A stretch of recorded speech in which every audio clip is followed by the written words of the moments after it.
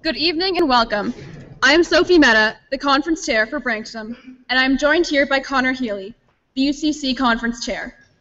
2015 is a big year for the World Affairs Conference. It is my distinct pleasure to declare the 32nd annual World Affairs Conference, the largest in our history, officially open.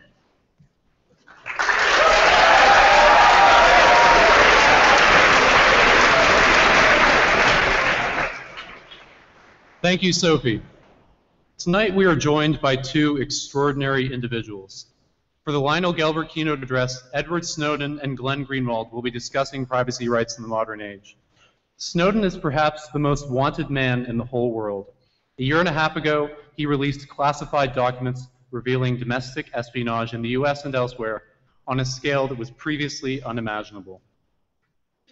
Greenwald made global headlines in June 2013 when he, along with Laura Poitras, released the Snowden documents. The revelations resulting from his brave journalism have catalyzed a, glo a global debate over the balance between national security and personal privacy. A few pieces of housekeeping before we start. After the discussion, Snowden and Greenwald will be taking questions for 30 to 40 minutes. That's a good sound. Um, from students only. Please refrain from the use of flash photography, as apparently it does something to the cameras.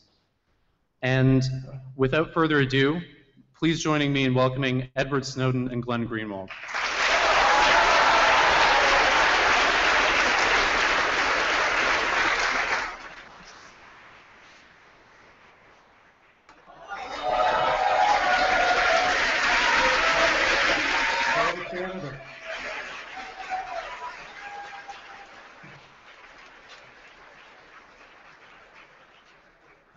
Thank you.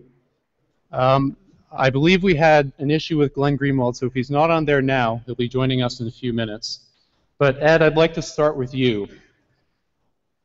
Let's start at the beginning. What are PRISM, Bull Run, and Levitation? Who is involved in them? And what about them caused the two of you to blow the whistle? So, when we think about the issues that were revealed beginning June 2013, it was a departure from the traditional model of intelligence gathering and security that we've always had in the United States and much of the Western world in general. And that's the idea that we have intelligence agencies, we have sort of spy agencies uh, that work in secret to defend us on a national basis. But they use their extraordinary powers only in extraordinary circumstances, when it's truly necessary and they use it in the most targeted, most limited way uh, that's absolutely necessary to achieve their purpose. So the difference was the PRISM program, for example. Uh, it would be uh, something like this. This is the second part of PRISM. You'll notice uh, corporate slides or corporate logos up at the top that everyone's familiar with. These were what were called the PRISM partners. They were corporate uh, corporations in the United States that had collaborated uh, in secret with the United States government to turn over the private information from individuals' accounts. Uh, and these would be uh, these would be individuals who had been suspected of some wrongdoing in a general sense, but without actually receiving a warrant against them signed by a judge from any court. Instead, these were warrants that were sort of self-signed by intelligence agencies without the involvement of any law enforcement or any judge. And what it meant was the massive amounts of information that were available on every person uh, who has a, a, Google account or an iPhone or they use Facebook or Skype. Uh, any of these services that are so necessary to all of us were suddenly immediately exposed in a way that we had never seen before.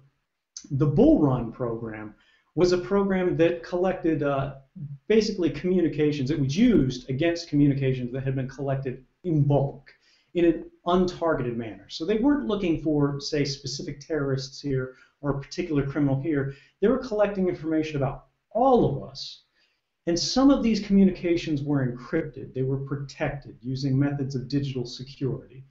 Uh, that are common. They're used by every website. This isn't a scary thing. It's what you use when you log into your bank or you order something online.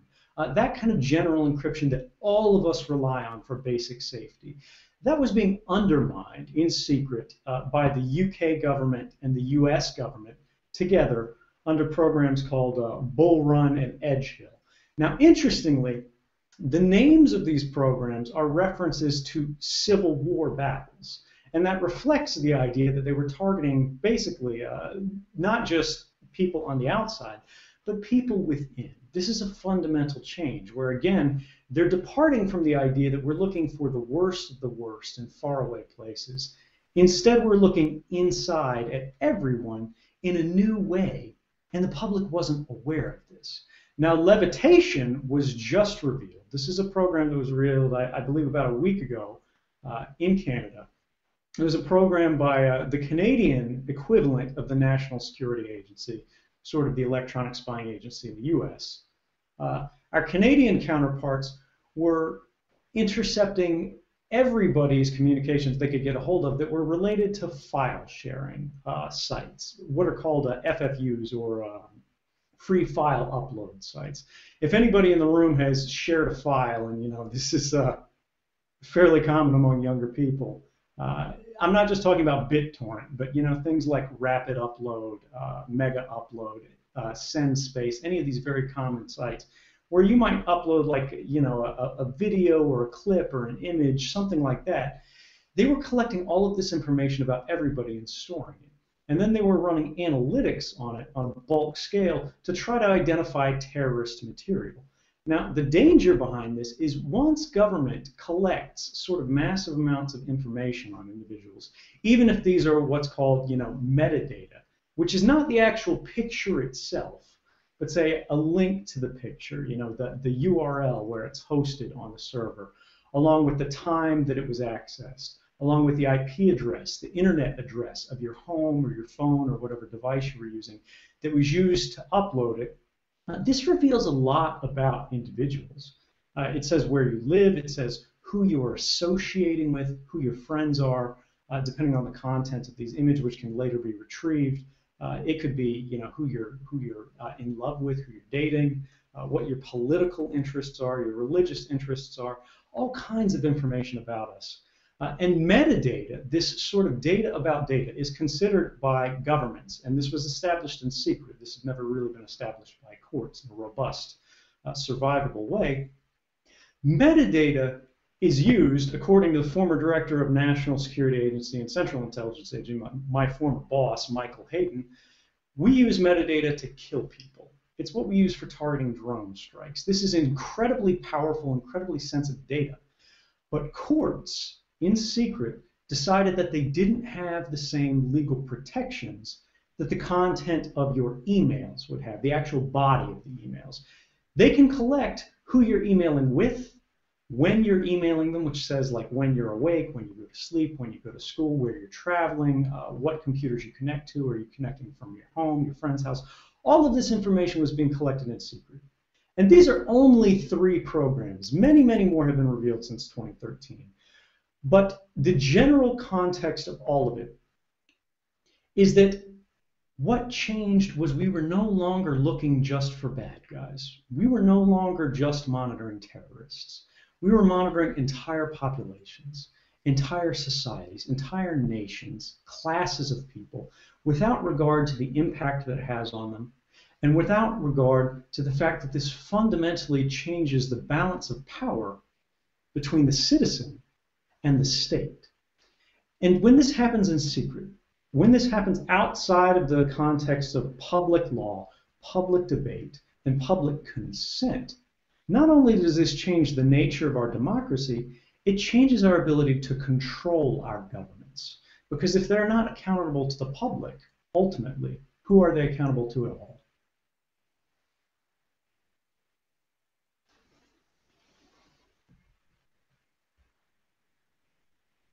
I'm sorry, I, uh, I can't hear you. Uh, one minute.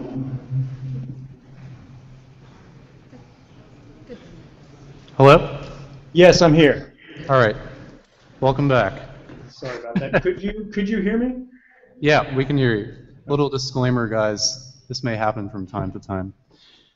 Uh, like you said, the issue at hand is broader than personal privacy. Some might say that the entire relationship between the citizen and the state is changing. Broadly speaking, what would you say the conduct of the NSA and other government agencies says about the state of Western democracies? And where else, other than privacy, does this change manifest itself? This is a very complicated question. It can be addressed in a number of different ways.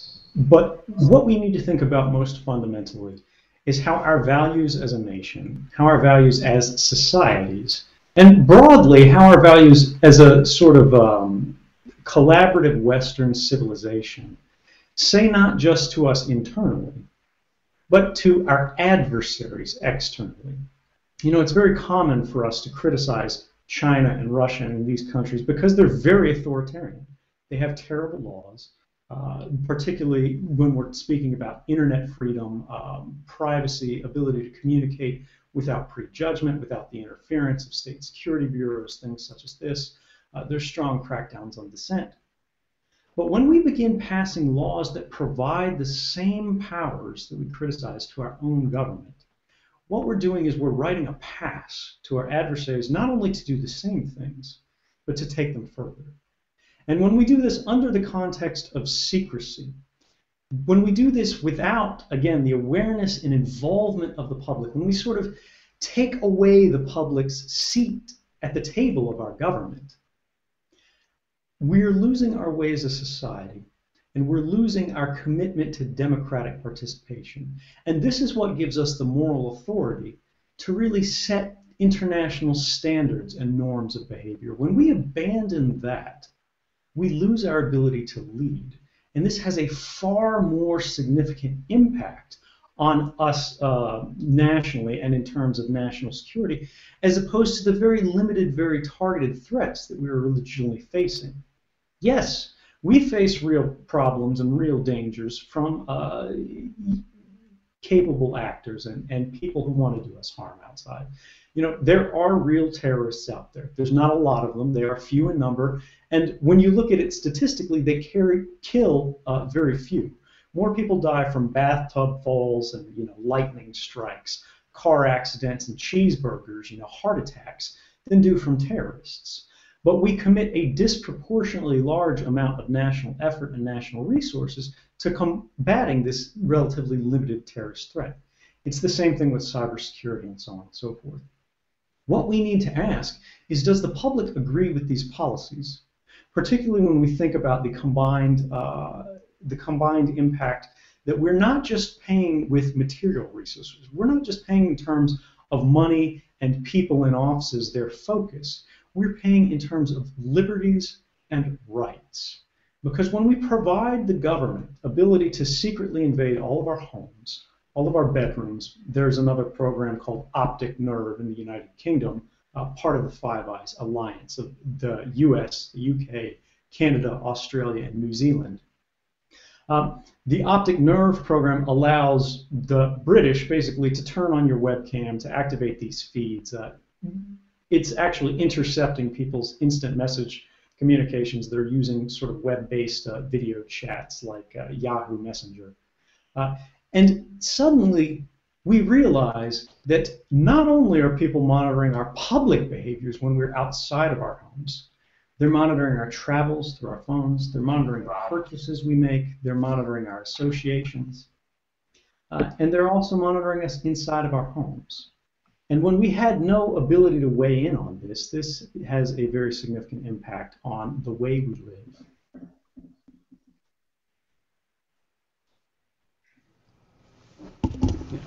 Mr. Snowden, if you could take the entire budget of the NSA and redirect it elsewhere, what would you do with it? well, I, I, don't want to presume to direct policy. You know, this is a democratic process. It should be done by everybody, and I don't want to say that you know I'm the person who has the answers. None of us have the answers. Together we find the answers. We have to work together on this. What I will say is there is value for the NSA. There is value for CSEC. We do need these uh, agencies because they provide a significant uh, they provide a significant strategic resource in times of real conflict, in times of total war. Uh, you know, when we have sort of submarines off our coast, when we're worried about nuclear launches, when we're involved in active hot shooting wars, uh, we need to have these capabilities, and you can't turn them on overnight. So you have to, much like a standing army, you have to maintain them to a certain level. But this should be a level that is necessary and proportionate relevant to the threat faced. And when we talk about the rhetoric that's coming out of some of our politicians, they speak about things like uh, particular religions, uh, the threat of terrorism, and things like that, as though they're existential threats, as though you know our, our societies are one or two days away from collapse. We'll have boots on the ground, men with rifles marching through our streets that are you know under foreign flags, and this isn't really realistic. We have to be able to balance this and think about do we get a greater measure of security from having a more effective economy, from having a, a healthier population, from having better research, better jobs, things that help and benefit everybody every day, or having extraordinarily capable secret police and state security bureaus that may be the best in the world, but they can just as easily be turned against our public as they can be turned against other publics. I think Glenn Greenwald may have just joined us, but I could be wrong. Are you there? I am here. I don't know if I can be heard. Brilliant. I thought we can hear you, Glenn. well, welcome. Um, just so you know, Glenn and Edward, there are about 900 people in this room, the vast majority of which are high school age students and then in the other room, there are an additional 400. And so, despite the massive amount of snow that we talked about earlier, people have come out nonetheless. Um, and we're also live casting broad to what I believe is up to 10,000 people, and I'm not sure what the exact number is now. And so, having said that there are Canadian student, students in the audience, only days ago documents were released implicating the Canadian government in similar domestic data collection as that undertaken by the United States. As Canadian students, why should we care and what is the cost to us of these programs? Not just in tangible monetary terms, but to our rights, liberties, and democracy. And that's just as much a question for Glenn as Edward. Glenn, okay, I will start. Sure, sure. Um, you know, first of all, I, I think it's interesting that there has been a much greater degree of support for the disclosures that we were able to make as a result of Edward Snowden's um, courageous decision to become a whistleblower among young people around the world than older people. And I think that's because younger people have had the internet be a central part of their lives from the very start and understand how critical privacy is to be able to get the value of it that it really offers.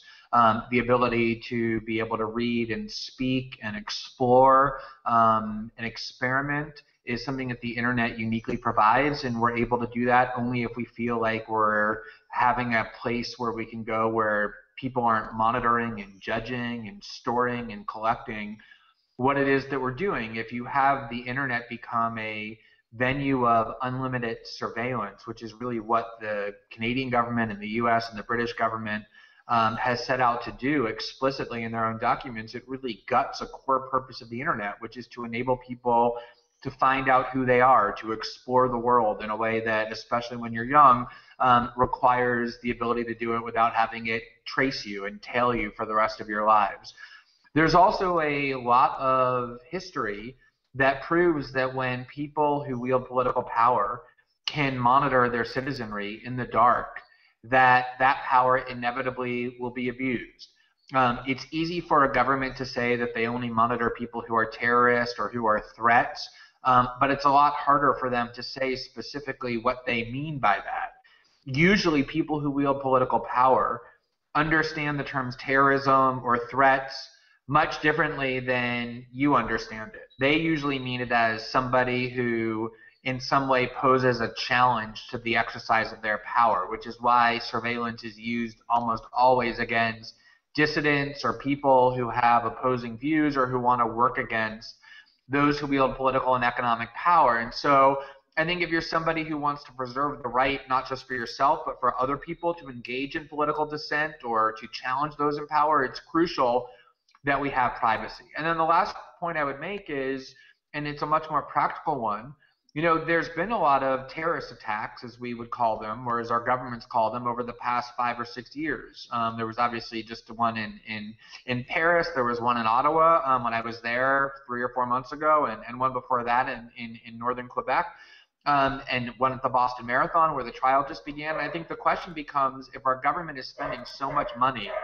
to turn the internet into this vast surveillance venue, why haven't these plots been detected? And I think one important question to ask ourselves is if the government is monitoring people indiscriminately, the reporting we just did with the CBC showed that millions of file uploads are being collected and stored and monitored by the CBC or by the by CSEC rather. Um, is it really possible for governments to do their jobs in finding terrorist plots, or are they just collecting so much information about so many people, including people who have done nothing wrong, that they become incapable of finding what they say they're looking for? Wouldn't it be much better to have our governments target their surveillance at people where there's evidence to believe they've actually engaged in wrongdoing? And I think that's a real question that we have to start asking about our governments who are engaged in mass surveillance. If I could uh, tag on to that, I, I would say uh, he's absolutely right in terms of the the distraction. I've uh, I worked at the NSA. I was at the office on the day of the Boston Marathon. Uh, and I was in the cafeteria as the, the news was breaking. It was fairly early in the day in Hawaii, but you know, late in the day uh, on the eastern seaboard. And I, I looked at uh, one of my colleagues there, and I said, you know, I, I'd be willing to bet almost anything. We knew who these guys were. We had something on them. Uh, and, and, sure enough, later on, it was it was confirmed that we had been flagged about these individuals. We knew they were a threat. But the problem with mass surveillance is that when you collect everything, you understand nothing. And we have to get away from that. It's much like torture, which we had a recent debate on in, in the United States. Um, we don't have any evidence that it works. We have significant evidence that it likely does not work. Beyond that, even if it did work, it does not matter because it's more basic ethical level. I mean, it doesn't matter whether or not slavery is a sound economic policy if it is morally bankrupt. The same principle applies with mass surveillance. Uh, but these programs take resources away. They take analysts away from the traditional means of targeted surveillance that we know work, that do stop attacks, that have done so for years, that work uh, effectively in investigations, that protect us from our adversaries.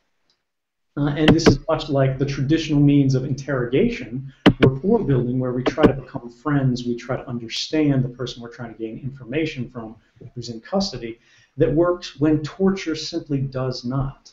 Uh, we can't we can't avoid that. We have to make sure that we have our priorities right, we have our ethics right, and we're applying our resources effectively. The other thing was he mentioned uh, he, he mentioned how young people Hey Ed, do you mind yeah. if I just interject? It sounds kind of like you're playing whack-a-mole or something.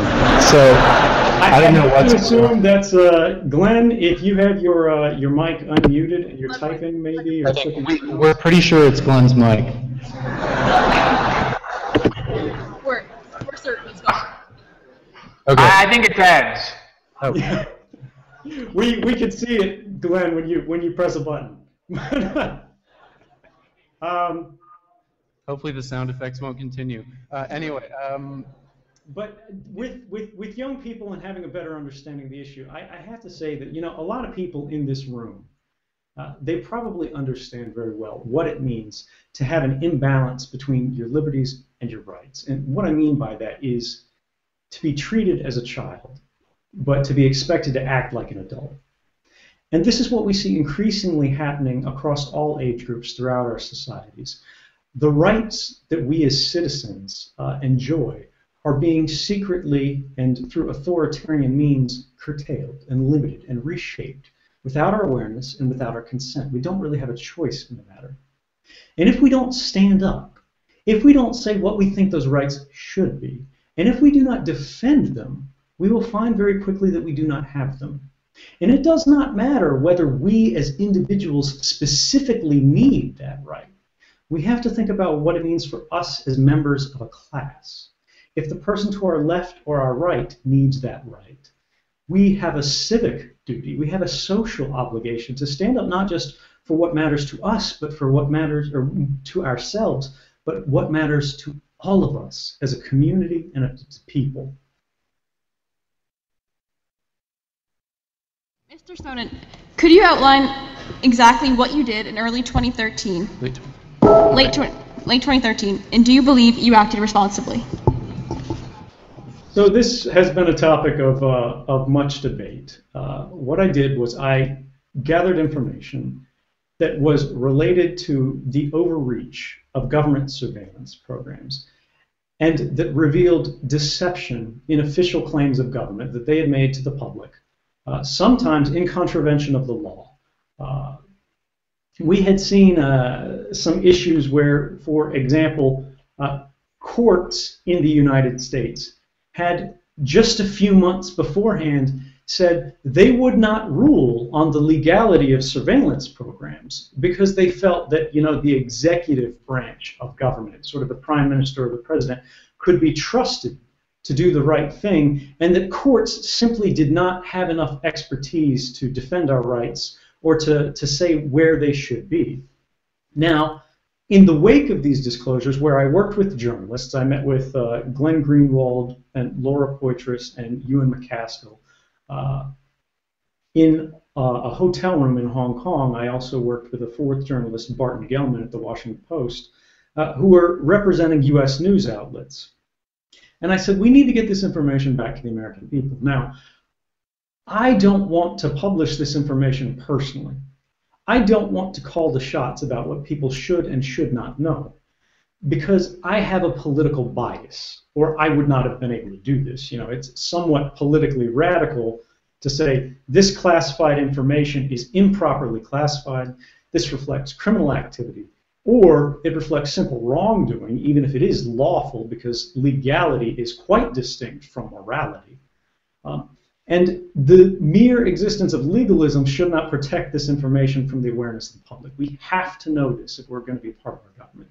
So I entrusted this to these journalists, and I asked them to make uh, public interest publication decisions where they would review these documents. They would say, these uh, programs, we agree as journalists, as institutions of the press, uh, should be known by the public. But even though the whistleblower sort of agreed that this is of public interest, the journalists agreed that this is of public interest, we will also go to the government in advance of publication, alert them as to what we are going to publish, and give them an opportunity to review the document and say basically, is there something that these other parties simply weren't aware of that's incredibly dangerous within them. And if that was the case, if there was some specifically dangerous uh, uh, detail in there, they would be able to make the case to the journalists that this should be redacted. This should not be included in the final article because it's related to, say, the specific name of a human source or a particular target that's ongoing, uh, that has a successful operation that's necessary for national security. And when we combine these steps in aggregate, there's a very strong case to be made that the public good was maximized and any potential harms were minimized because you represented uh, the press and the government and the public all in one sort of negotiation process. And basically, by trying to reflect the same checks and balances that are so common in Western governments in the process of publication, we could use a fairly conservative publication program. We've actually received a, a, significant amount of criticism that enough has not been published, sort of that we've held too much back. Um, but in this manner, I think it is fair to say that it was responsible and very little harm has been done. Uh, in fact, we had the director of the National Security Agency, the new director, the last one got kicked out as a result of these disclosures uh, sometime later, although they said it was, of course, planned. He was just retiring, uh, but he sort of got shuffled out of his position and replaced. He gave testimony last year in front of the Congress in the United States, and he said, despite these disclosures and despite sort of the overheated claims that we're all at risk and there's a lot of danger now, uh, the sky is not falling. The NSA can continue its work where it is necessary, uh, and we're not really at, at extraordinary risk. You know, the, the, the sky isn't going to boil off, uh, and, and, we're not all going to die. Tomorrow, the sun will rise again.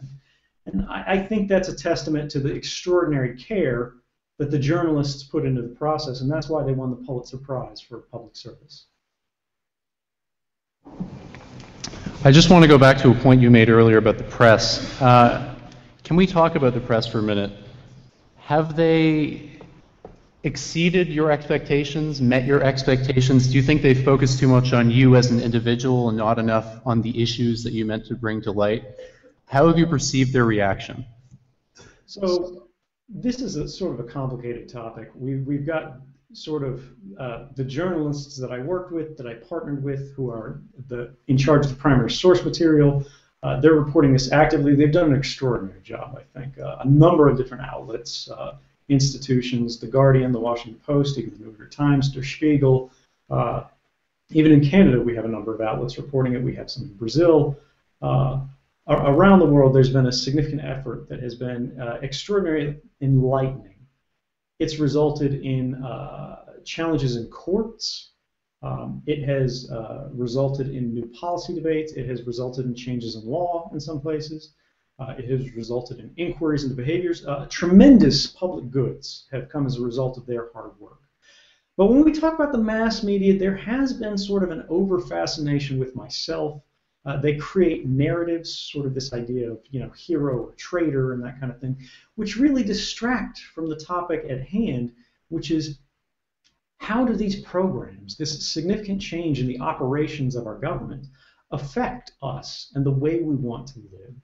Uh, because whether or not I'm Mother Teresa or Adolf Hitler, that has no bearing whatsoever on the content of the reporting uh, who I am really is is of, of least concern when we're talking about programs and, and, policies of government.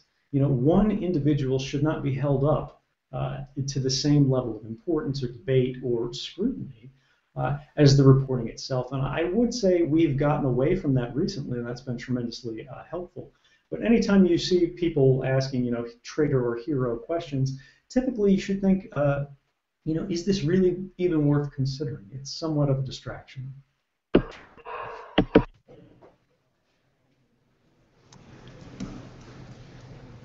And uh, Glenn, anything to say on that?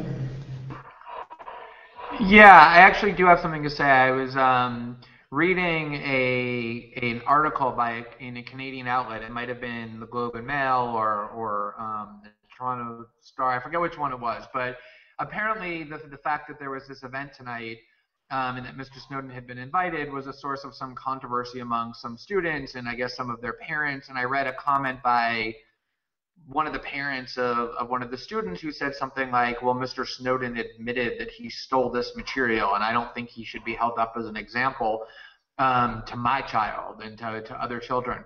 And I would love to be able to have a conversation with that person. I, he probably wouldn't want to have one with me, but I would love to have one with him um, and, and, and be able to explore that a little bit. And I know there are other people who think that because when I was growing up, um, you know, in the 70s and 80s, the person who I was taught to regard as a political hero um, was named Daniel Ellsberg, who, very similar to Mr. Snowden, um, was working in the U.S. government at a high level and, and discovered that his government, the U.S. government, was lying to the American people for many, many years about the Vietnam War. And what he did was he took what became known as the Pentagon Papers, thousands of, of top secret documents without authorization, and he gave them to the New York Times so that the New York Times could do its job of informing the American public about that which they should have known, but which their government was hiding from them. And I guess on some level, you could say that Mr. Ellsberg stole that material and that he took it um, and gave it to the New York Times without permission. And yet, I think today Daniel Ellsberg is widely regarded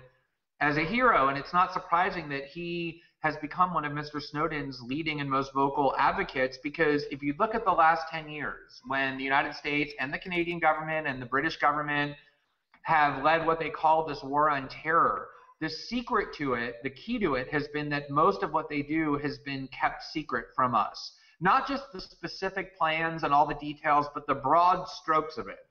and you really can't have a democracy if you have your governments that call themselves democratic keeping from you the vast majority of the most important things they're doing because it's not very meaningful for you to go to the ballot box and pick which government you want to have power if you have no idea what they're doing. And so it isn't just Mr. Snowden, it's a long line of people, Daniel Ellsberg and Thomas Drake and Chelsea Manning and all sorts of people who came forward to reveal torture and abuse of detainees at Abu Ghraib and Guantanamo.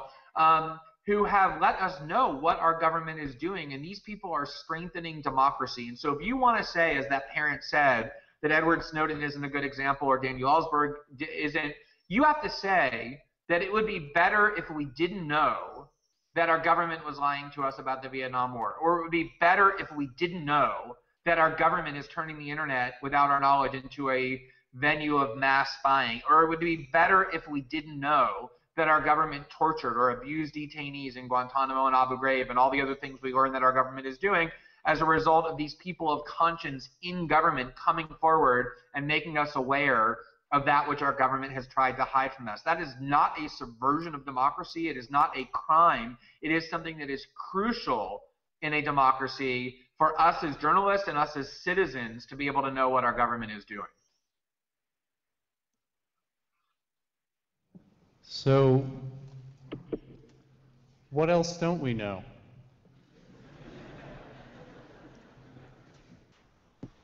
Well, I mean, I think, you know, I think it's important to realize that although Edward Snowden was able to provide an enormous amount of information about what the NSA and the GCHQ and CSEC have been doing, um, those are only one agency within these very vast governments.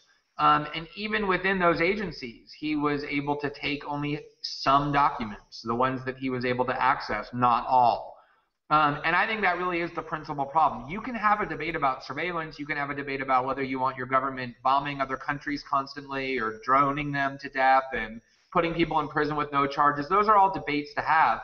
But if you believe in democracy, um, you should believe that we have a right as citizens to know what our government is doing. Again, not every detail, but the broad strokes of it. And um, there is an enormous amount that remains secret.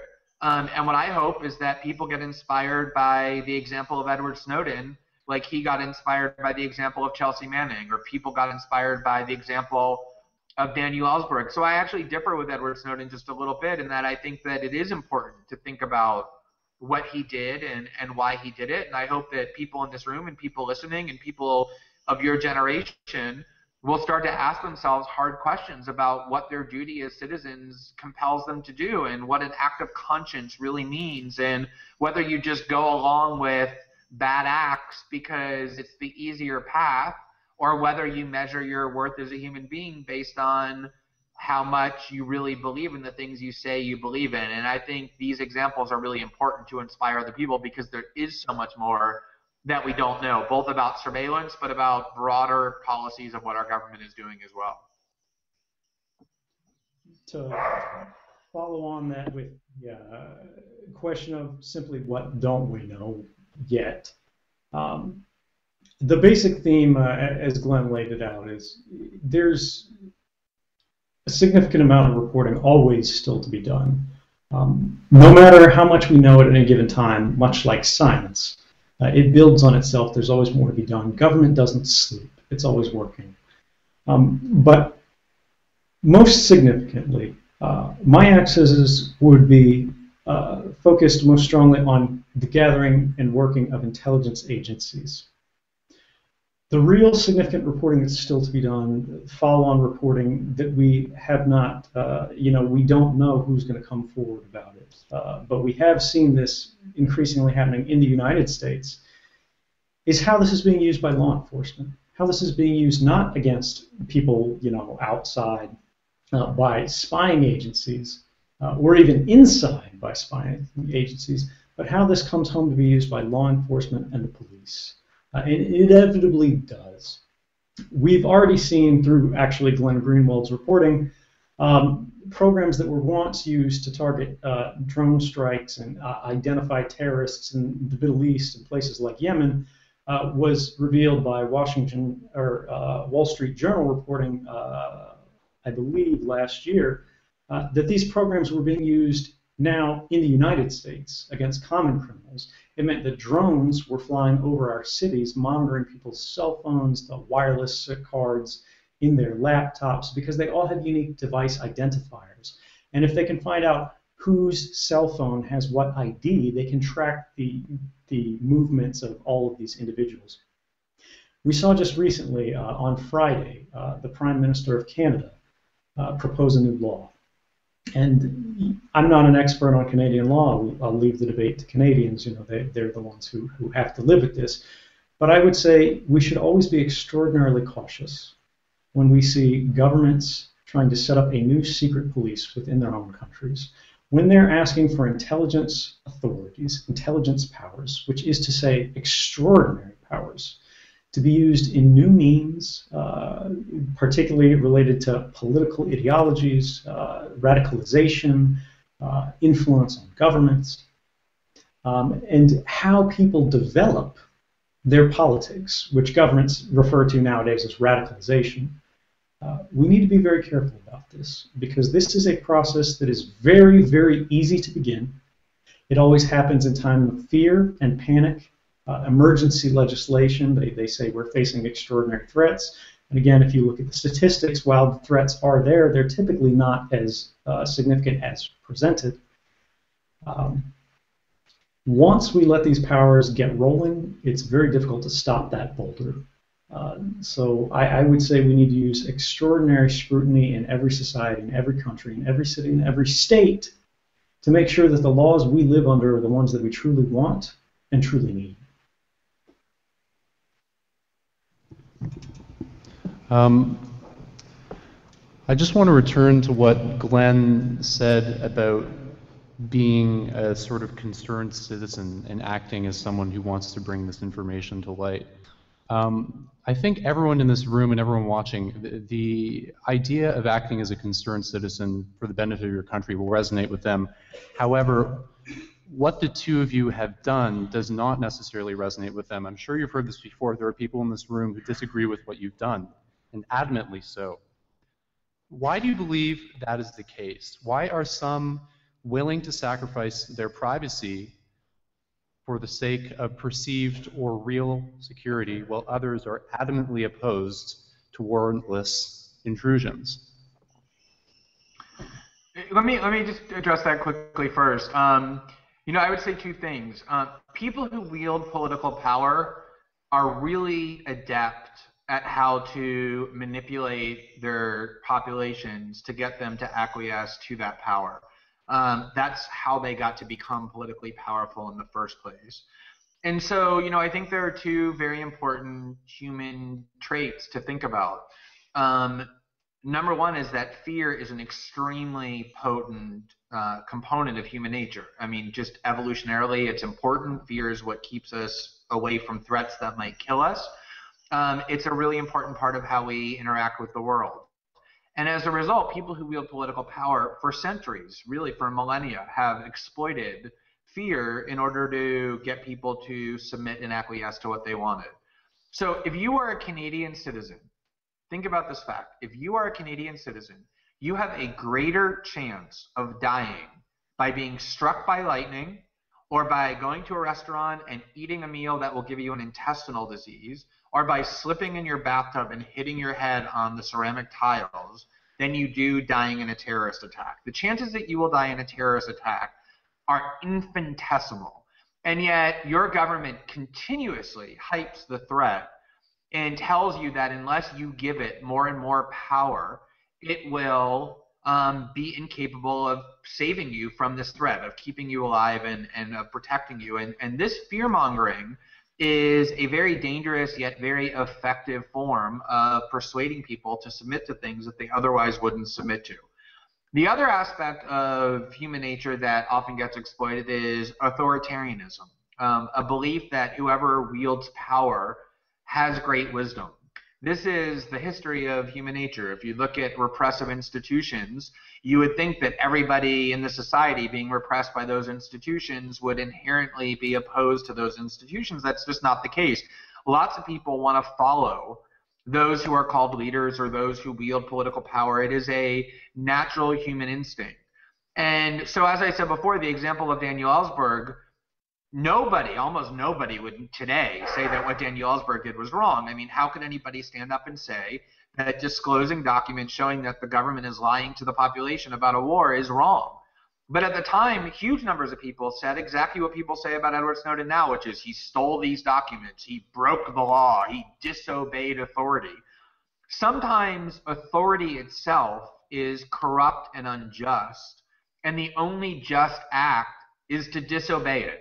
Um, Nelson Mandela went to prison for several decades because he did actually break the law, but he did it for a just cause because the authority who he defied was unjust. Um, same with civil rights leaders, same with all kinds of people fighting for justice. And so I think that in order to be rational citizens, we have to make sure that our fears aren't being exploited and that our desire for authoritarianism, to follow strong leaders, um, is something that we're resisting. And then the question just becomes as a citizen, are you happy that you know that your government is spying on the internet in a mass and indiscriminate way? or do you sit around wishing that you had remained ignorant of it? And to me, the only rational answer is to say, I may not agree with everything Edward Snowden thinks about surveillance, but I'm really glad as a citizen in a democracy, I now know my government is doing this so that I can participate in the debate and help make those decisions rather than having them made for me. Uh, on the question of, you know, uh, some people have criticisms about this, uh, they, they don't like it. This is this is a reasonable thing. You know, people people make decisions on the basis of information they have access to, and the media has uh, unnecessarily controversialized this in many ways. Uh, in the United States domestic political debate, uh, unfortunately, a number of our legislators uh, they immediately denounced it because they said it's classified, it's classified, it's classified. They didn't really care about the content. They cared about the, the legality of it, the legalism. And again, we need to think about in social terms the distinction between legality and morality. Now, while this was not said and not accepted when uh, it first happened, when this first took over the news, sometime later, the President of the United States himself uh, agreed that just because we can do something doesn't mean we should. He claimed to commit himself to closing down the same programs that were revealed, some of these mass surveillance programs, uh, saying they weren't necessary and they unnecessarily impacted our rights. So there, there can be some disagreement about where to draw the line, what's right, what's not right, where the distinctions are. Uh, it's not that you have to uh, agree with uh, me or Glenn or the journalists or scientists or judges or courts or whatever. There's always room for debate. But we need to make sure that we have a real grounding and ultimately our debates are driven by facts. Our understanding of the world is based on a grounding in fact. And when we look at the, uh, the sort of investigations that followed these reportings, even in the United States, the same people who are, you know, uh, basically they were, they were there were individuals in the United States government who said they, they wanted to poison me on the street and have me uh, die collapsing in the shower, these, these same individuals uh, appointed independent panels. Uh, the White House appointed two, the Privacy and Civil Liberties Oversight Board, uh, and there was an independent review group appointed by the president that took a look at these programs. They had full access to classified information, and they went are these programs, you know, uh, valuable? Are they necessary? Are these criticisms accurate? And in fact, not only did they find that criticisms of them were sound, uh, they, they said the programs were not necessary. Uh, well, that mass surveillance, particularly the Section 215 uh, phone metadata program, this is an example of spying on everybody in the country as opposed to specific individuals. They found that spying on everybody, that mass surveillance, that bulk collection, that's the government euphemism for it, had never stopped a single imminent terrorist attack, despite the fact that the justification for these programs was that they kept us safe from terrorist attacks. Uh, the facts did not line up with the rhetoric.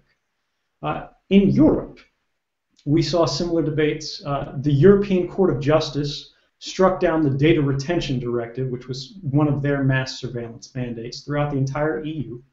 Uh, The Council of Europe uh, found, uh, confirmed the, the domestic U.S. findings that these programs were not necessary, that they were not effective, that they should be ended, and that they were fundamentally in conflict with basic rights. And the United Nations also found that these were fundamentally contrary to our rights and needed to be reformed. Uh, every country that looks at these programs and measures them on merit finds that not only are they not necessary, they may actually be harmful. Uh, and this is really something that is not covered to the media or by the media to the same extent that the initial controversy of hero versus traitor was. So some people are still looking at the issue from a June 2013, we don't know what will happen man, uh, mindset, which is reasonable. Because, you know, when some guy bursts onto the scene and all of these journalists are revealing, uh, you know, secret documents, there's a real reasonable fear that maybe this will get people killed. Maybe this will hurt people. But we're now nearly two years out from the initial disclosures, and not a single instance of harm has ever been shown uh, as a result of these disclosures. In, in fact, when we look at it, we see reports that say no harm was caused uh, by it. Uh, and, and not only was there no harm caused by the disclosures, you know, terrorists were still able to look at them. They weren't changing their methods as a result. And this is an independent report, by the way. There was a CIA commissioned report that found a contrary finding, but of course they were paid by the CIA. Uh, small conflict of interest there. But we see that governments, such as the United Kingdom, had kept this information classified, as they wrote in their own documents, the documents that they were not sharing with the public, not because they feared harm to national security, but because they feared a damaging public debate, they called it. That's their quote, a damaging public debate that would enable legal challenges on the basis of rights violations. So when we look at this in, in sort of a holistic context with the benefit of history, with the benefit of a broader understanding of facts, and we sort of give weight to that that is distinct from merely rhetorical claims, uh, it's somewhat difficult to, to stand on solid ground in saying that this really caused harm. Now, that doesn't mean you have to like that. Uh, that doesn't mean you have to like me or approve of me or, or the reporting or anything like that. But we should be able to agree that this is a good thing for society to know, regardless of the mechanism, regardless of, of how bad a guy I am. Uh, ultimately, the revelation of warrantless wiretapping, of mass surveillance on a global scale is something that we, the people, deserve to know. And if the government will not tell us, it falls to journalists to work as the free press, as sort of the fourth estate, and find and publish the information that's necessary to inform our voting habits. Ed, we're going to move to question period in just a minute, but before we finish, I have one more question for you, and I want to bring it back to Canada. As you said, it's been two years since the initial release, and when that initial release took place, it shocked the world. Why has it taken two years for the revelations about levitation to come to light? And how long has the CBC had the documents indicating that this activity was going on? Was it a product of, of your waiting, or was it the CBC that waited? So I can't speak to the reporting process because I'm not involved in it. Uh, I, I, don't say what to publish, what not to publish. Uh, I don't have any access to documents on my own.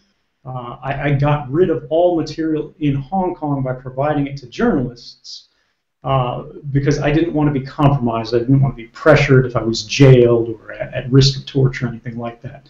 Uh, so I'll have to defer to Glenn on any sort of journalistic uh, question like that. Yeah, so I'll just answer it this way. Um, I always I always find it odd that on the one hand people say, well, aren't you being irresponsible with the documents that you're publishing and disclosing and um, you know, on the other hand, they say, well, why have you taken so long to study these documents before you've actually disclosed them? Um, and there's obviously a tension between those two questions. Um, we do feel an obligation to try and get relevant information to the public as soon as we can, but we also feel an obligation to make sure that what we say about these documents is actually accurate so that we're not misleading the public the way these governments have, but are actually informing them. Um, and to also make sure that we are reporting the material in accordance with the framework we created with our source, Edward Snowden, about how to do this safely and responsibly. A lot of these documents are really complicated. Um, they take time to understand. They have to be examined with experts. Um, there's documents from multiple countries around the world. In fact, countries on every continent around the world. Um, and so it takes time, and it takes time to do the reporting and to get the reporting right. Um, we have multiple news outlets around the world reporting on them. Um, there was a holdup with the CBC uh, with one of the stories. In fact, the last story that we just did, um, because not everybody at the CBC was on the same page about how to do the reporting, but we got that resolved and are working with great editors and great reporters at the CBC. We've done a lot of stories early on. Um, this one took a little bit longer than I would have liked, but I want to make sure to be very accurate. Um, specifically about significant, if not more significant, than the ones we reported thus far. Um, and we're going to report them like we've reported all the stories um, as quickly as we can, consistent with making sure that we're we're accurate and and we know that what we're saying is true.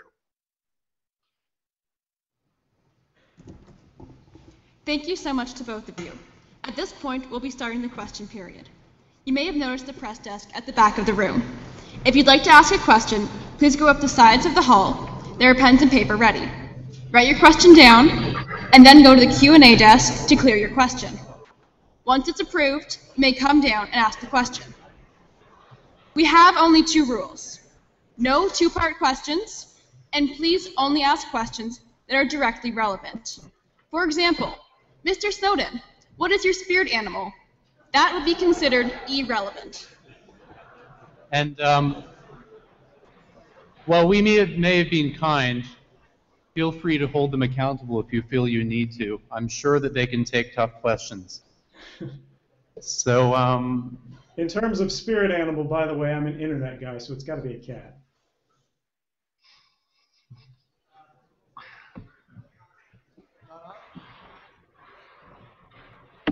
Um, okay. Uh, do you believe that surveillance of all people uh, is unacceptable? Uh, or would it be justifiable to spy on people with violent criminal past or public association with an extremist group? Uh, for example, say, uh, would it be okay to uh, keep the head of the American Nazi Party under close surveillance? Ultimately, the question of surveillance and how it's applied is a question of law. Uh, this should always be uh, sort of aimed and targeted on the basis not of policy, not of regulation, but of law, with the involvement of courts, except in extraordinary exigent circumstances where it's necessary for the protection of life or property on sort of an imminent basis. You know, they, they say there's a, a, a, bomb that this individual's uh, planted. You know, they, they need to figure out where he is at this time. Uh, and we have laws in place for this, at least in the United States, which will allow you sort of a 72-hour exemption, but then a judge reviews it, so if you've abused it, it's sort of a problem. Um, but surveillance is, you know, a, a important capability for intelligence and law enforcement. This isn't, you know, I'm, I'm not a guy who says let's get a, rid of surveillance entirely, you know, uh, sunshine and roses everywhere, because although we want to get to a point in our civilization where we can do that, where we can say we don't need surveillance anymore. That's not the world we live in yet, and that's not the world we can expect to live in in this sort of uh, foreseeable future. Surveillance is used in you know every day in every country for the investigation of serious crimes. And the way we manage that is we make sure it's overseen by courts and it's not simply done by an agency on the basis of their own say so this is the problem in the intelligence context is we have it done on an untargeted indiscriminate scale where it's targeting entire populations as opposed to specific persons uh, and on top of that, it's often done without oversight, which is in the case in, in Canada. There's very limited oversight of intelligence uh, agencies uh, there. In the United States, it's also very weak. And even where intelligence uh, agencies have to seek warrants in the United States, Currently, it's very weak. They go to a rubber stamp court, not a, a real court, you know, uh, that, that's got any sort of meaningful challenge to the government assertions of necessity, of, of need. In the period between the 1980s and I believe uh, 2012, 2013, somewhere in there, uh, there were 33,900 warrant requests uh, by the intelligence community to the sort of secret intelligence court. Of those 33,900 requests, only 11 were rejected in a span of about 30 years. When you can only say no 11 times in 30 years, that's a good, uh, good example that perhaps the level of scrutiny necessary to robustly defend the liberties of society is not there.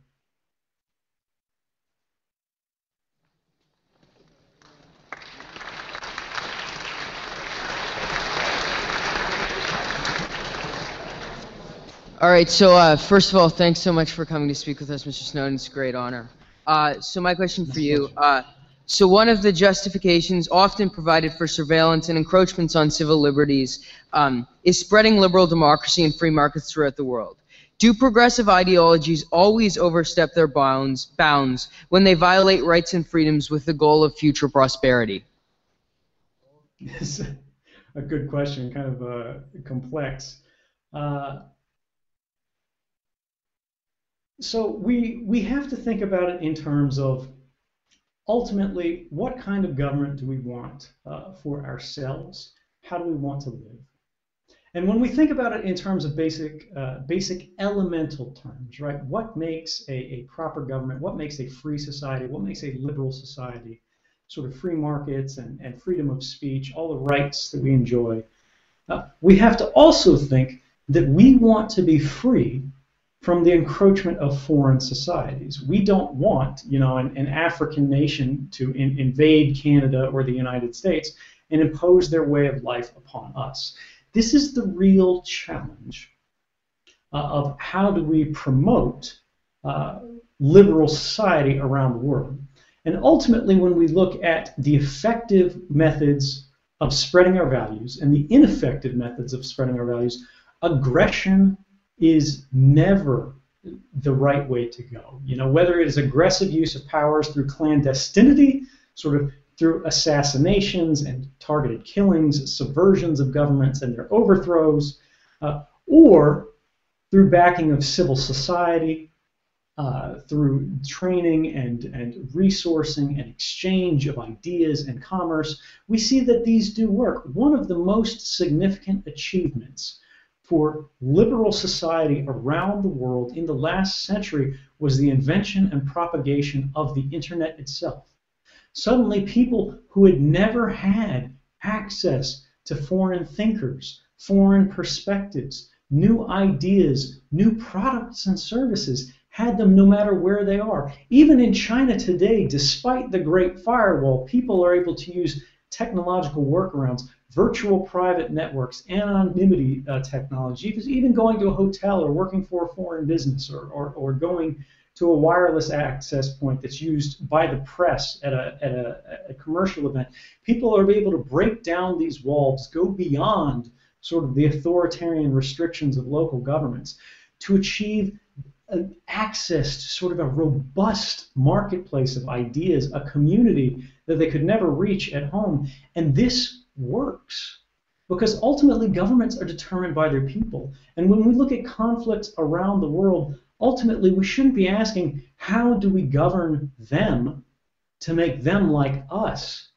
We simply have to make our societies so attractive, make our values so transparently desirable that they want to pursue the same outcomes. When we live good lives, when we act morally, when we act ethically, when we compete fairly and we win, that's an inspiration that changes the world. And I think that's the way we need to encourage our foreign policy uh, institutions to represent us. Thank you.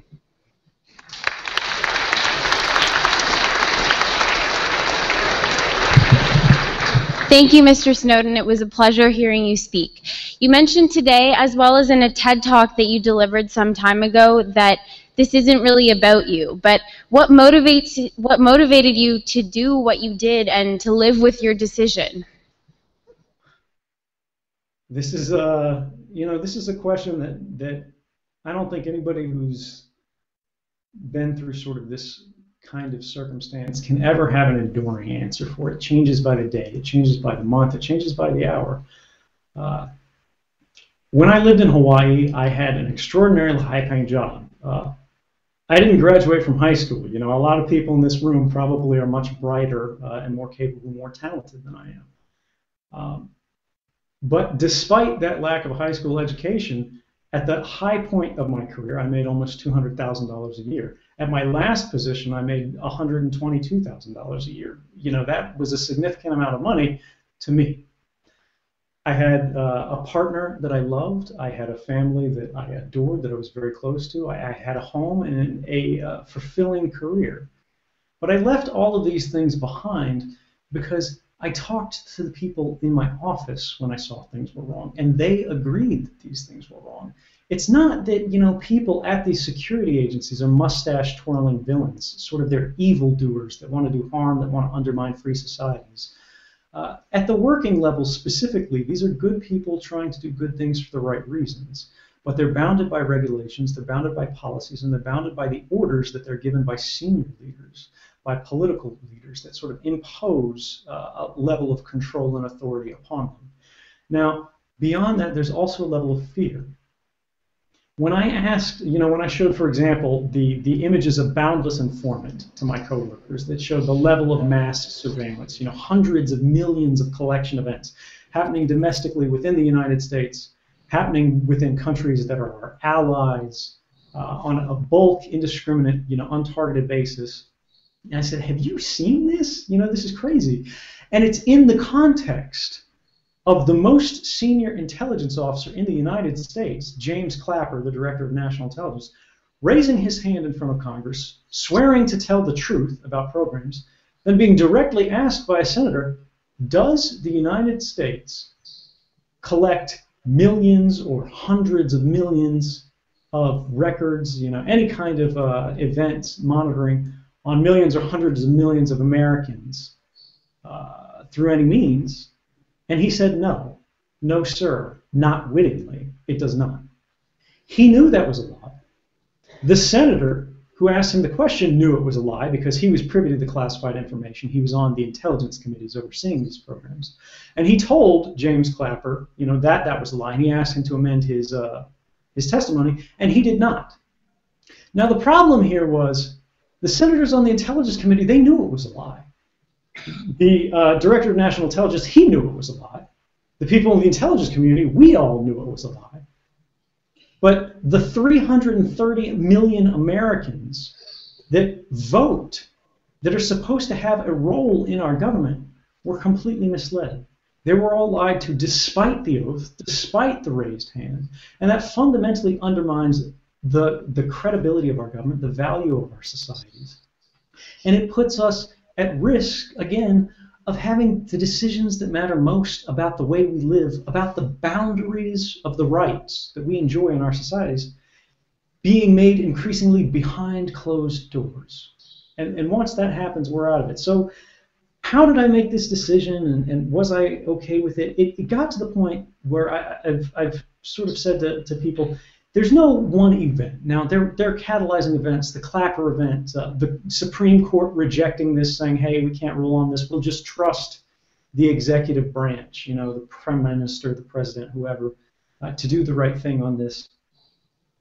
But ultimately, it comes down to everybody has a limit to what they can see. And when I joined the Central Intelligence Agency, I was made to swear an oath to defend the Constitution of my country against all enemies and it specifically says all enemies, not just foreign, but domestic. Not to defend the agencies, not to defend the president, but the Constitution, our rights, the foundation of our government against these threats. And we have this limit, a, line of incivility and inhumanity and immorality of wrongdoing we can see and witness. You know, we turn our, our face away from the beggar asking for change in the cold and the snow, whatever, uh, because there's only so much we can deal with. But once it passes that point, we have to do something about it. And when I saw the Constitution of my country being violated on a massive scale, and my colleagues agreed that something needed to be done, but none of them were willing to do it because they knew what happens to people, you know, who stand up and challenge power. I realized that I was in a place to do something about it. And I felt that I had a civic obligation to do so, and I, I did the best I could in the context. And ultimately, it wasn't about uh, it wasn't about fairy tale endings. It wasn't about you know being a hero. It was about trying to do something because something must be done. Thank you very much. I appreciate it.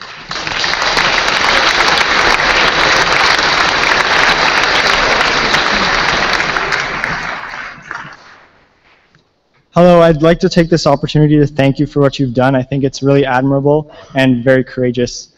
Um, so to my question, under what specific circumstances do we abandon legal channels and pursue um, civil disobedience to see change? that's a really good question, and that's uh, that's one I'm sure your parents would not want me to answer. Um, but you know, this is this is ultimately an individual decision. When we look back at the course of history, uh, again, it gets back to democracy is about participation. It's about the contest of ideas. We make risks, we dare, we chance. Sometimes we win, sometimes we lose. Sometimes we do right, sometimes we do wrong, even though we intended to do right. But the result of this is that when you see something that you realize is so morally unjustifiable, that you are moved to act regardless of the consequences. You have some method of mitigating harm to, to ensure that you're not going to be, you know, uh, unfairly uh, unfairly undermining the rights and liberties of the people around you, their safety, their security, their lives, and their livelihoods. Uh, and you look to history. You look and see, are there any models? You know, I, I had Daniel Ellsberg, who was a personal inspiration uh, to me, who looked at this, and people asked him, what did he regret about it? Did he do something wrong? You know, was there something he could have done better?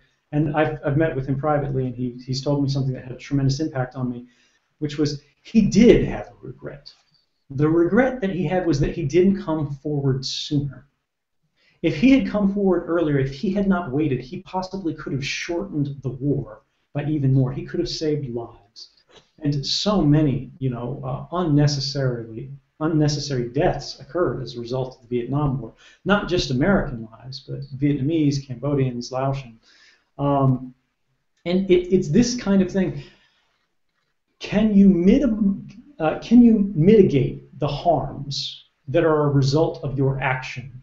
Uh, and can you ensure there will be, to the best of your uh, judgment, a greater public good than any potential risk, any potential harm that could come out of this?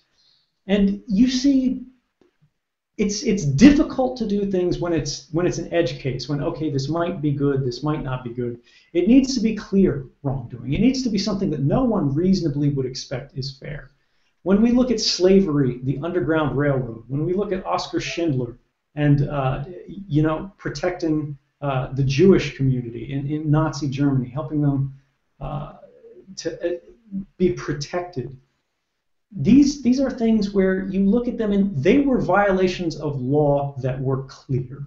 Uh, all of the policies in Nazi Germany, uh, in, in, in the slavery period in America, these were legal. These were lawful. it was the government that was in the right in terms of law and it were it was the the dissident class that was that was wrong, uh, and they stood a great legal peril, you know, pain of death, uh, if they were caught. But ultimately, you have to look at this and you have to go, what can I live with?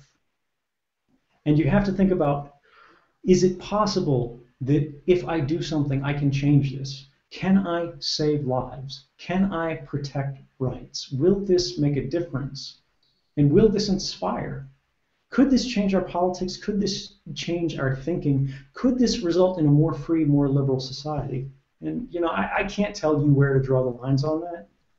but I think uh, anybody who's in that situation, who has the time to think long and hard about it, uh, they can come to a pretty clear distinction about what is right and what is wrong. Thank you. Thank you.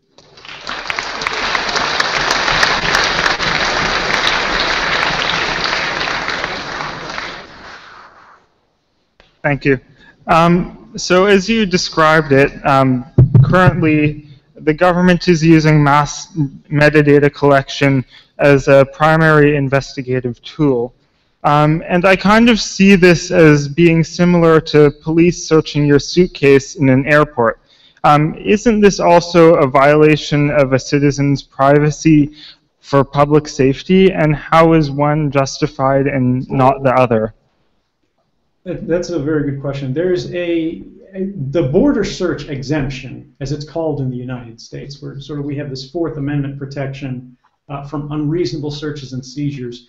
They say when you're crossing the border, you don't have the same expectation of rights uh, because there's a overwhelming sort of presiding government uh, obligation to protect it at this this limited, particularly dangerous point. Now, we don't see this sort of limited, particularly dangerous point uh, in metadata collection because it's being applied to everyone all the time. And unlike the border searches, it's creating records of our activities, which is significant uh, because it enables things like retroactive surveillance, retroactive searching, where let's say you've lived your life as an honest citizen all day long, uh, you know, your entire life, but one day you come up on the radar and suddenly they can go back and search through the last five years, eight years, ten years, however long that data storage happens to be at the point that this occurs, and look for wrongdoing. Uh, and we know, uh, based on history, uh, that when you create these sort of centers of gravity in terms of databases, uh, academics refer to them as databases of ruin, where you aggregate enough information about individuals, uh, it is simply too irresistible to any actor, and this isn't just governments, this is corporations as well. Uh, when the data set reaches a certain point of richness, the temptation to use it for new and novel purposes that were not originally justified at, at the point of its creation simply cannot be resisted, and that fundamentally uh, puts us at risk of harm. Now, there, there can be some arguments made about, you know, is this valuable here, there, and, and elsewhere, but metadata surveillance could be done on a targeted basis. You know, uh, they've done that in the United States for many years uh, under what's called a pen register or trap and trace authorities, where they say, this individual uh, we don't have a warrant for, but we have a reasonable suspicion of wrongdoing which is the same thing at the border. You know, they see this individual. They don't search everybody's suitcase who walks up the border. They go, this individual is suspicious for these reasons, uh, and on that basis, we'll use our authority to, to make this specific targeted search. Now, intelligence agencies are applying this bulk collection, these metadata authorities, on uh, without the basis of reasonable suspicion. It, it's affecting everybody. That's what I would say is the key distinction, is targeting. Uh, metadata collection is by its very nature indiscriminate when you're doing it from bulk content collection of the entire internet communications. Border searches are happening uh, simply on the basis of resources. They've only got so many officers, so many people they can search a day on a targeted basis. Technology unchains the government and these authorities from the necessity of targeting. And on that basis, it violates the principles of necessity and proportionality that are supposed to oversee the use and application of surveillance authorities. Thank you.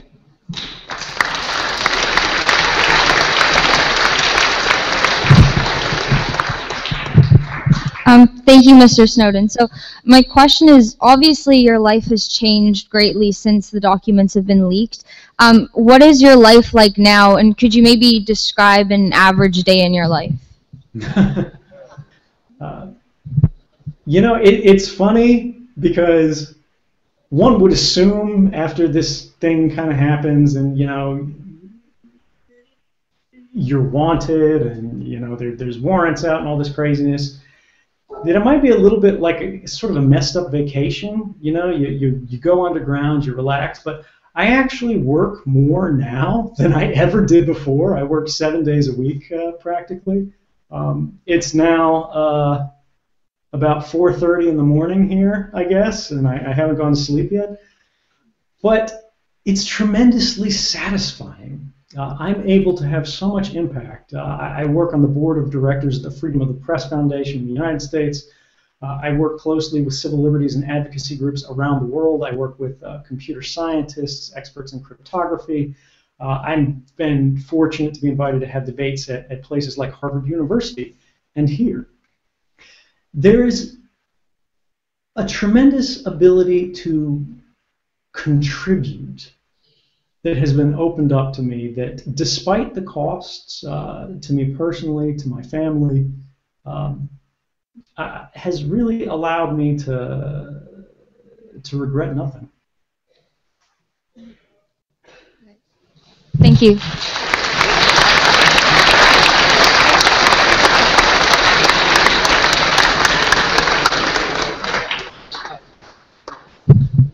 First of all, thank you uh, to both of you, Mr. Snowden and Mr. Greenwald, for coming to speak with us today.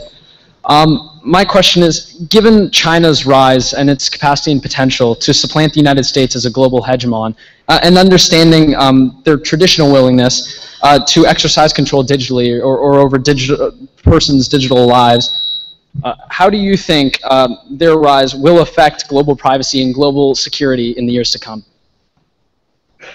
First off, wow, high school students. I mean, these are these are better questions than I get from members of parliament. But uh,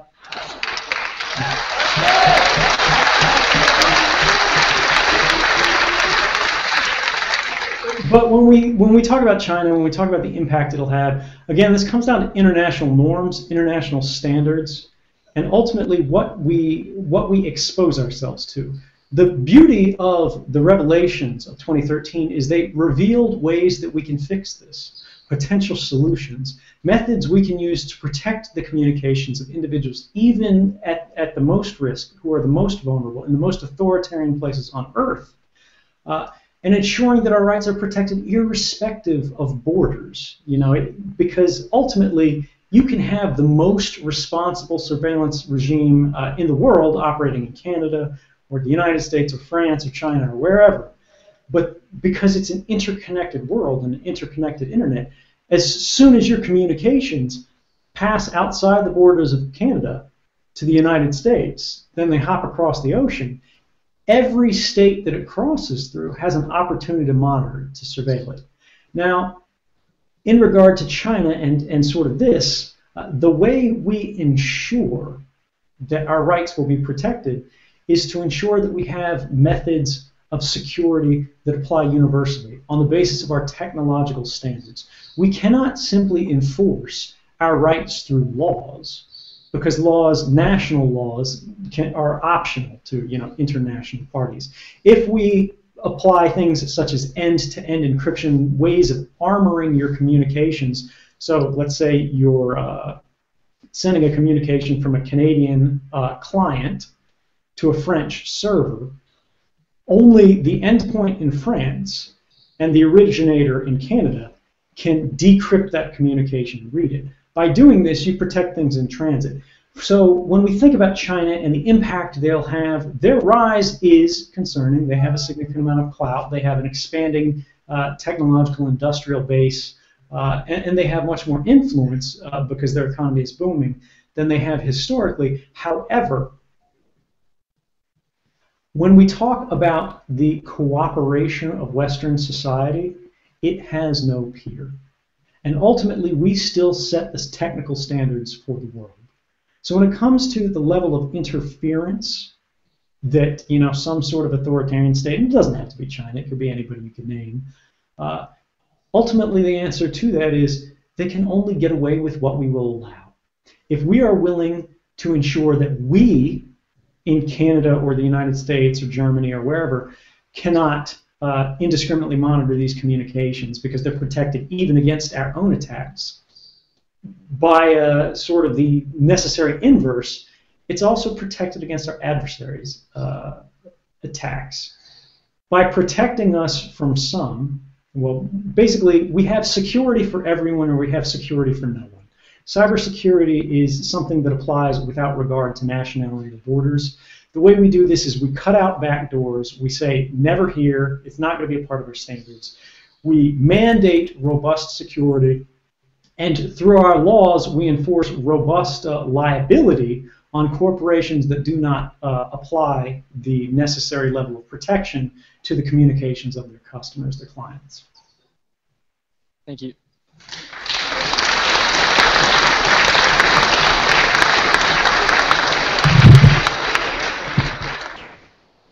First of all, I'd like to thank you very much for giving us this opportunity to discuss this very pressing issue with you. I'd like to present you with a hypothetical. This question is directed towards you, Mr. Snowden. Let's assume Putin and the Russian government have now employed you to Russia's FAPSI.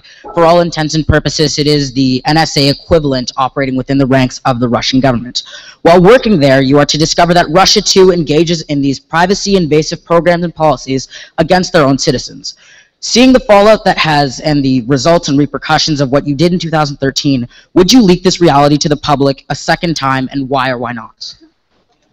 Of course, because practice makes perfect.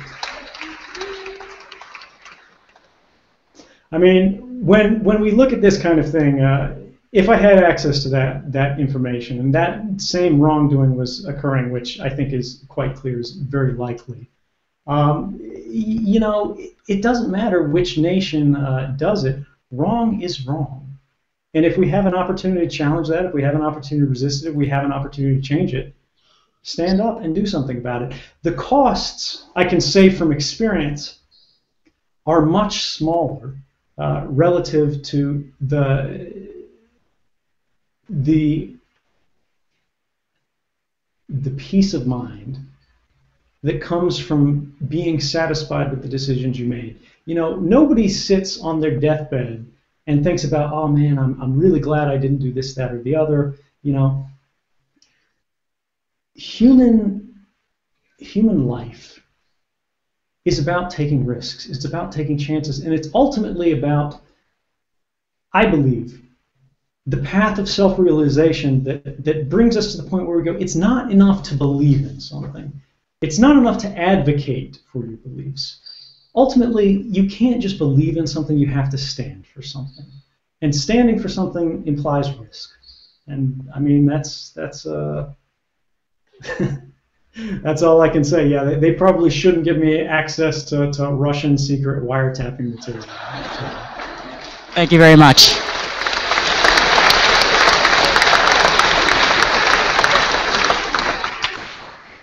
Thank you again so much for coming to speak to us. Uh, my question is about resisting surveillance. Clearly, at present, the government surveillance apparatus has run so deep that no member of society could potentially stop being surveilled unless they hold themselves up, like quite literally. Um, Mr. Greenwald, you've spoken about how knowledge of surveillance affects our psyche and our social behavior negatively. So my question is, Mr. Snowden, despite your revelations, is it in our best interest to resist surveillance? And if not, is surveillance justified if people are tacitly accepting it? I think resistance to any immoral activity, unethical activity, is uh, something that should be promoted regardless of effectiveness. Um, now, there is always a question of resourcing. You know, we only have so many hours in the day, so many things we can do, so many things we can commit ourselves to. However, application of mass surveillance is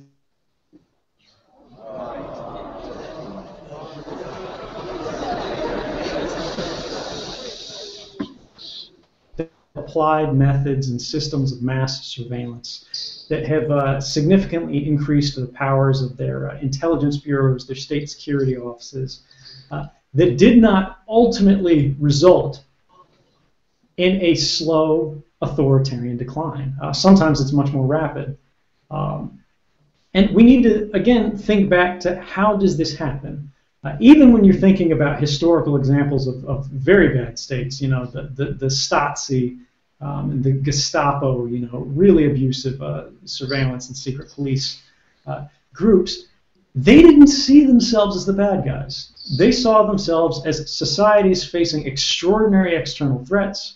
They were trying to protect their nation, their government against these threats. They saw themselves as the sword and shield protecting the civilian, the common man, in, as they go about their daily life. And this is something Shh.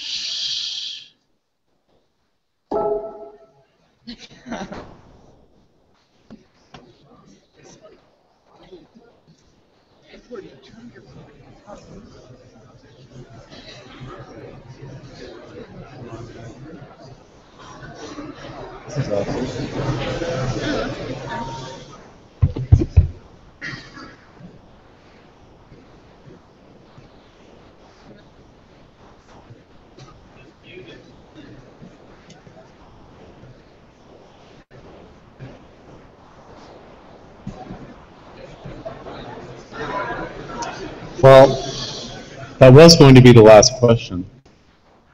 Um, I'm sure he'll be back in a minute. I apologize. It, it, it seems like I, I lost the call at some point. Uh, if can you hear me? Yes.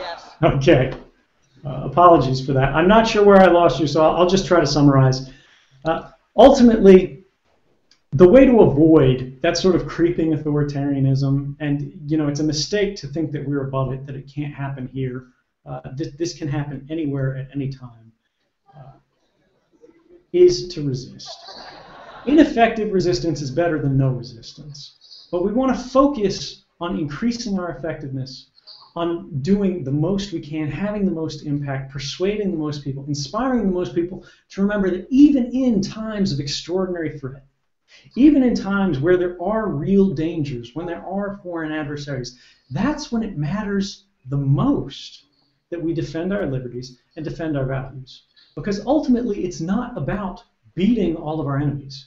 We cannot subjugate and take over the world no matter how effective we are. We have to figure out how we can lead the world by creating networks of allies, by converting enemies into friends, and finding a way ultimately that will lead to the end of conflict, build lasting peace. And the only way to arrive at this is to come across, protect, support, advocate, and defend universal values that we can all recognize and we can all respect. Thank you so much.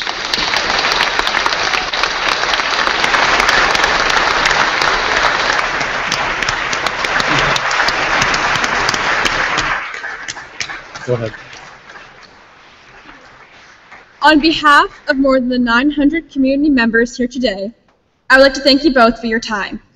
And before you go, Connor and I have a request. We would both like to take a selfie with you.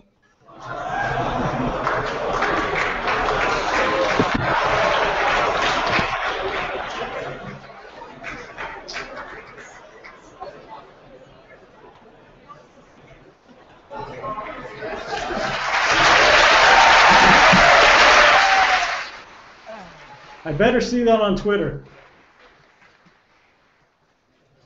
Mr. Snowden, Mr. Greenwald, speaking to you has been an honor and a privilege. Thank you so much for your time. Thank you. Thanks, everybody.